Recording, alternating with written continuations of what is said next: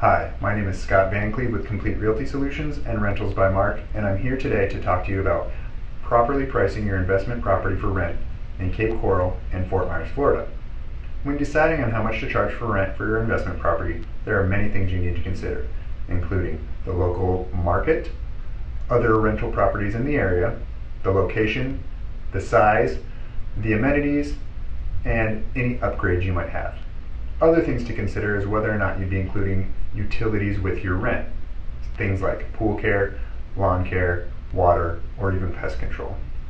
If you price your property too low, the home will rent incredibly quickly and you'll be stuck wondering whether or not you have received the most money you could get out of your investment. If you price your property too high, the home will stay on the rental market, it won't rent, and you'll be losing money. This is where a property manager can come in handy. We have many tools, including the local MLS and things like RentMatch, to properly price your rental home on the market. This way, your home gets rented for the maximum amount of money and rented in a decent amount of time.